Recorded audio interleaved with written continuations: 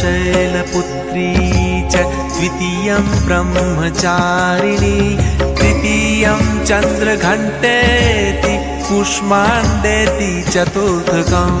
पञ्चमं स्कन्दमातेति षष्ठं कात्यायनीति च सप्तमं कालरात्रीति महागौरीति चाष्टमम्